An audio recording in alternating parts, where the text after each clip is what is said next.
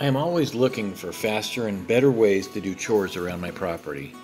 For example, every year we have to rake up the leaves and sticks in the chicken yard. We're trying to keep down the fire hazard, and the chickens love to scratch in the fresh dirt. This year, I decided to build a small brush rake for the front of my electric tractor. The rake needs to get into tight spaces, pull the debris away from the fence, and be able to get the dirt out of the brush. I built a rake that will go in place of the loader bucket, which will allow me to tilt the rake. Let's see how it works.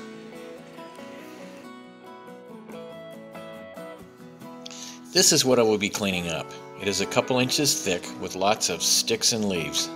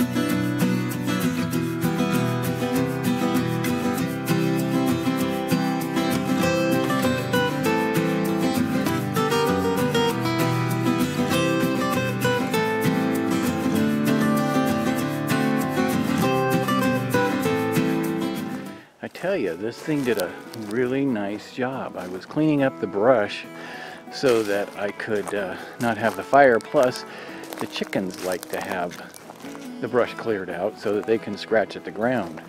This was all covered with sticks and leaves before. Now that I'm done with it, I've gotten I got down to dirt, cuts way down on the fire danger, and it made it look really tidy. Here's my pile over here. It um, probably has a little dirt left in it, but all I got to do is roll it over a couple times. Here we go. Yeah. Mostly just sticks and leaves. You know there's some dirt down at the bottom. And what it what it does, I comb the dirt with this. I was watching the big brush rakes on the large tractors and saw that they basically just go through and comb, so I thought I could do the same thing with the sticks and stuff on my property. And uh, I can tip the blade so that if I pull it backwards, I can tilt it forward to kind of grab from the edges, because you can't get on the edges very well. And then once you pull it on the edges, you tip it forward so that the hooks don't get caught on the rocks. And then when you want to lift, you tip it back and lift it up to shake the dirt out. Worked really well. The chickens really seem to like it.